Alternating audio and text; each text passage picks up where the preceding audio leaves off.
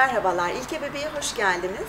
Sevgili annelerimize ve bebeklerimize özgü ürünler hakkında sizlere bilgi vereceğim. Annelerimiz için e, doğum sonrası büyük rahatlıkla ve kolaylıkla kullanacağı bazı ürünlerden bahsedeceğim. Bu ürünler göğüs pompaları, süt saklama poşetleri, göğüs ucu koruyucuları ve göğüs ucu kremlerinden oluşmaktadır. Göğüs pompaları elektrikli manuel olmak üzere iki kısımdan oluşmaktadır. Elektrikli göğüs pompaları özellikle çalışan annelerimiz için zaman kazanç sağlamakta, sağım işlemini hızla gerçek- gerçekleştirmektedir.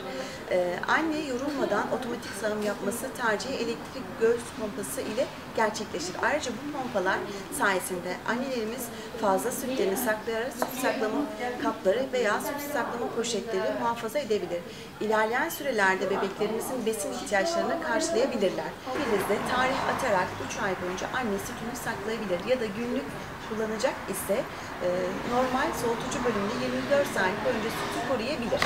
Çatlak kremleri, göğüs ucu çatlak kremi yine ihtiyacınız doğrultusunda tercih edeceğiniz hamile bakım kremleridir.